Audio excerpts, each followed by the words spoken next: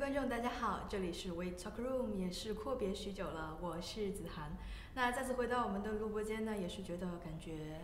有点小激动了。那今天我们请到的嘉宾呢，来自我介绍一下吧。大家好，我是 Ashley。所以 Ashley 最近在忙些什么？啊，最近上班呢，然后带我的学生啦，因为我做这个教育咨询嘛，所以我基本上每天都会有接到各种各样的咨询。然后呢，我们现在有开始做游学团，嗯，游学，刚刚把他们送走，因为他们现在国内开学了嘛。哦，这样的。那这里我听说，从这个两千一六年到这个数据线为止。这个留学来到国外留学的比例是比往年增加了将近百分之四十的样子。是的，今年的从目前来看的话，确实是我们也能看到大街小巷，你能经常看到三点以后。学生放学以后呢，各种各样背着书包的青葱小少年就开始出现了，所以确实是人数增长是非常可观的。我觉得这也和我们的这边的这个留学政策有关，因为呢，我们也是面向各个国家，中国当然是一个非常主要的国家，让中国的留学生啊或者外国留学生有更多的机会来到我们的澳洲，所以从移民上和这个留学程序上都已经简化了很多。嗯，那游学到底是一个什么样的概念？游学呢，最早之前的游学是这样子的，比如说，嗯，有一段小的假期，你愿意过来这边，比如说，哎，经历一下。就像咱们中国说的夏令营，现在这个夏令营呢，也还是以这个形式存在。但是呢，他们就说有另外一个目的在这个游学里边了。比如说，他可能未来，比如说，哎，我可能一两年以后我有出国的打算的，那这个游学就变成了这个 try before buy 这样子的形式。他可以通过留学先提前一步来适应一下风土人情呐，参观一些学校，知道自己未来的学校大概的一个方式是怎么样子的存在。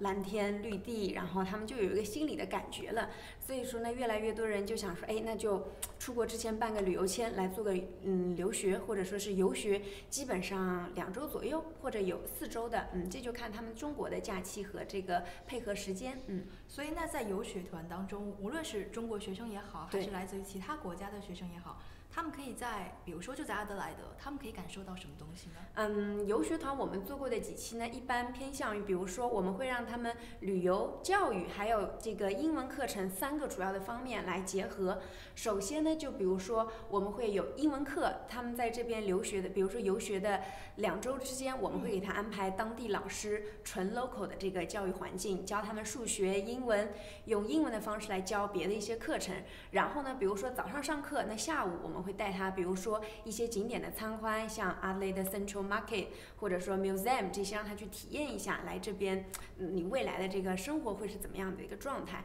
然后呢，我们也会带他去学校做这么一天到两天，或者有的呢会更长时间的这个实地的这个试读。就比如说和当地孩子一起上课，一起用呃英文上中文，呃英文上这个数学课，英文上物理课、化学课这样子。然后呢，我们也会有一段时间，比如说他说那我想去多几个。学校，因为不可能每个学校都试读，所以我们会让他去每个学校参观，这是可以满足他们的。嗯嗯，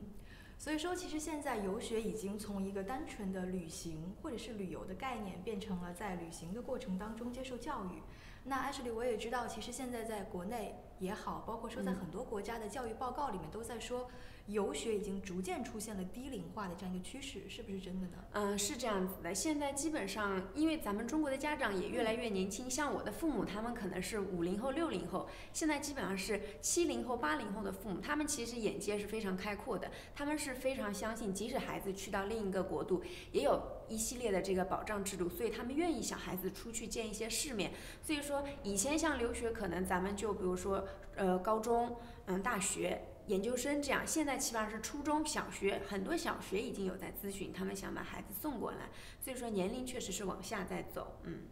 所以其实无论是在我们早年的留美的幼童，那这批幼童呢也是中国最早的留学生，那再到现在已经变成了低龄化的游学团。我在想，可能教育的资源分配是越来越丰富了，但是在这种教育资源分配下，是不是每个孩子都能够实现他们自己或者是他们的家长给他们的期望呢？嗯。可以说大大环境还是挺好的，但是呢，因为本身咱们中国孩子有一些咱们中国孩子的特质，就包括因为我带有留学团，我有带了几几年，嗯，有有各种各样的问题啦，当然也有很多的收获。首先呢，一呢，孩子家长他可能想的是，比如说他一开始找我们报名的时候，他会想，哎，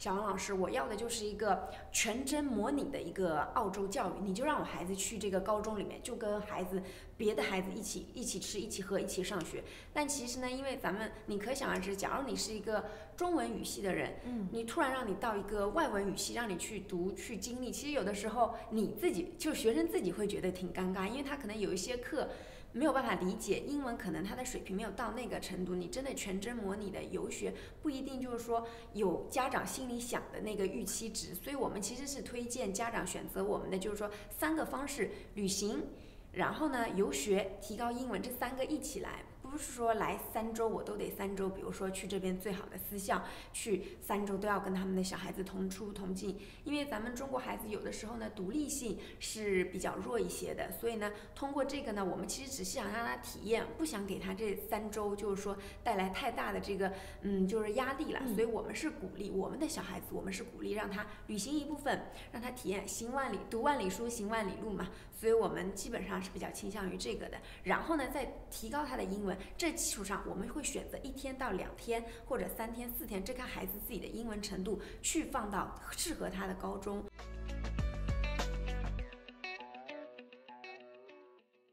我们刚刚呢，也是听到艾什利分享了他在工作以及在带领学生游学过程当中的一些经验了。那么，无论是我们在八十年代强调的不能让孩子输在起跑线上，还是九十年代强调的素质教育，那再到现在就是零零后甚至是一零后，在说到我们要游学，要感受这个世界，我想可能这个过程当中赋予的其实都是家长对于孩子的一种期望。在这个过程当中，其实教育的真正内容是什么？也许教育的真正核心并不是简单的去学一门语言，或者是学一门课程，甚至是拿到某一个学位，而是在学习、接受教育的过程当中有所成长，并且有所了解。所以我觉得刚刚 Ashley 有句话说的特别好，叫做“读万卷书，行万里路”。可能这个就是游学团最真实的内容。所以也是再次感谢到我们 Ashley 今天来做客 We Talk Room 的直播 间，聊一聊 游学，聊一聊留学，聊一聊所有的在澳洲、在阿德莱德生活的一些华人的故事。好，谢谢。